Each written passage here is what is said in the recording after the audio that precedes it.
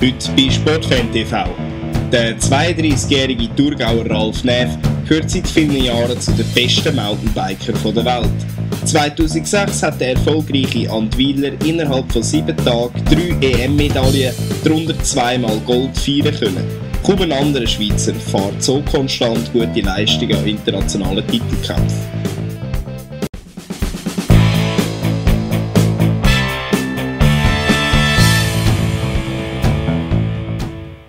Ralf Neff, herzlich willkommen bei Sportfan TV. Letztes Wochenende äh, ein Weltcuprennen in Übersee in Amerika, aber du hast nicht können starten. Wieso?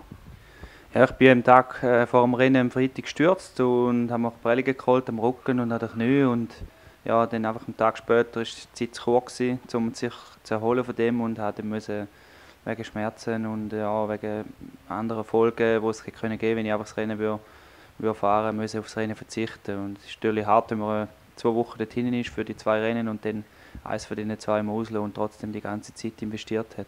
Wie lange muss passieren? Ja, passieren ist eigentlich gerade jetzt der Renntag gewesen, gestern Reisetag, gestern Morgen heimgekommen und äh, heute, jetzt, wenn ich dann ins Engadin aufgegangen werde, dann am Nachmittag probieren aufs Velo gehen und das sollte eigentlich kein Problem sein. Aber du hast eine sehr erfolgreiche Saison bis jetzt gehabt. Was sind die Höhepunkte aus deiner Sicht? Ja, der Höhepunkt war sicher der Weltcup in, Frankreich, wo ich schlussendlich mit dem dritten Platz die Olympia-Quali geschafft habe und die Olympiaselektion geholt habe für London.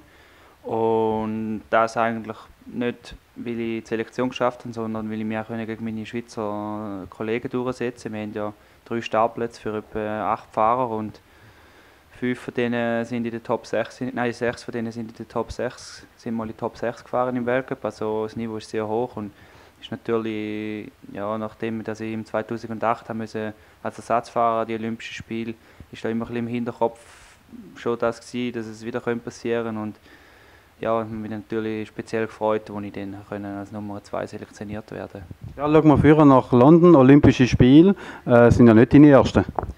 Nein, sind eigentlich die, offiziell die zweiten. Also ich bin ja drei Olympische Spiele jetzt dabei.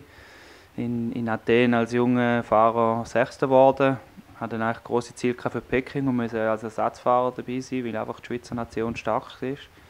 Und jetzt eigentlich in London äh, ja, das dritte Mal. Wie tust du dich darauf vorbereitet? Ja, jetzt habe ich eigentlich nach der, der Juni habe ich noch ein bisschen locker genommen, nach der sehr stressigen Phase bis, bis zum Mai. Und mit der ganzen Form und allem ein bisschen runtergefahren. Und jetzt im, im Juli gehe ich in die Höhe rauf. Jetzt haben wir noch sechs Wochen Zeit und probiere dort jetzt eigentlich in höchster Form von der Saison für die Olympischen Spiele als erstes Mal im August. Dann als zweites ist die Weltmeisterschaft im Cross Country im September und im Oktober haben wir noch die Marathon-Weltmeisterschaft. Äh, wann ist das Rennen genau, die Olympische, also das Olympische Rennen? Am 12. August, am, am Schlusstag, haben wir das Rennen am Nachmittag und äh, ja, können dann von dort gerade den Schluss feiern. Kennst du die Strecke schon? Kennst du das Profil? Und wenn ja, sagt er dir äh, die Strecke zu? Ja, wir kennen die Strecke und das Profil. Wir waren dort im April, das Ganze anschauen. Einzelne sind letztes Jahr schon, gewesen, ein Testrennen fahren. Den, den Zeitaufwand habe ich nicht auf mich genommen, sondern bin einfach im April schauen. Und äh, ist ein gutes Profil für mich, geht links, rechts, auf und ab. Es ist eine gebaute Strecke, es ist nicht eine natürliche Strecke, die man irgendwo im Wald findet mit irgendwelchen Wanderwegen und Singletrail, sondern es ist auf so einer Farm auf der Wiese. Haben sie, äh, Im hügeligen Gelände haben sie einfach mit, mit Schottersteinen Strecke gebaut und ein paar technische Passagen. Von dem her hat es nicht sehr viel Aufstieg, also es hat Aufstieg, aber maximum eine Minute lang und das, das bedingt eigentlich immer, dass es eine größere Gruppe gibt und wahrscheinlich sehr ein taktisches Rennen wird geben. Und das, vom Profil her müsste es mir eigentlich sehr gut liegen. Wer sind denn für dich Favoriten? Ja, der Nummer 1 Favorit ist sicher der Nino Schurter. Hat da ja gezeigt, also nicht nur bei uns Schweizer, sondern einfach weltweit, dass er äh, immer noch der Beste ist, nach seinem Weltmeistertitel vor zwei Jahren, äh, vor drei Jahren. Und ja, der Julie Absalon, zweifacher Olympiasieger, hat sicher große Chancen auf den Titel. Dann der Jaroslav Kulhavi aus der Tschechei, der letztes Jahr Weltmeister war und die ganze Saison dominiert hat. Ja zwar noch nicht ganz in Schwung ist, aber den muss man sicher auch zu den Titelkandidaten rechnen. Und dann noch der Spanier, der José Antonio Hamida, mein Teamkollege aus dem Multivemerida Biking Team. Er ist auch immer einer, der für Medaille oder Titel gut ist. Wie schätzt du seine Medaillenchancen ein? Ja, in Prozent kann ich jetzt nicht genau sagen. Das gibt es nicht. Es sind sehr viele Faktoren, die stimmen. Man muss einfach wirklich parat sein dem Tag. dem muss einfach auch äh, ja, das Glück auf, sein, auf, der Seite von mir liegen, dass auch einfach mit dem Material alles gut läuft. Es ist nicht wie bei einem 100 Meter Lauf, wo man einfach weiß, ja, heute laufe jetzt die oder die Zeit und äh, die Schuhe bleiben den Füßen und das passiert nicht. Beim Mountainbike-Rennen kann immer etwas sein, man kann einen Defekt haben, einen Sturz.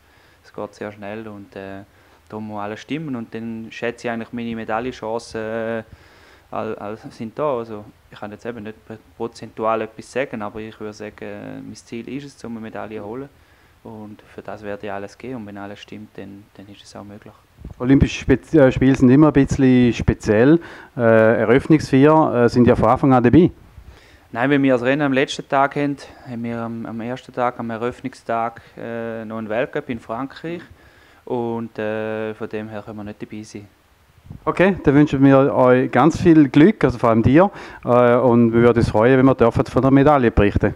Danke, Ralf Neff.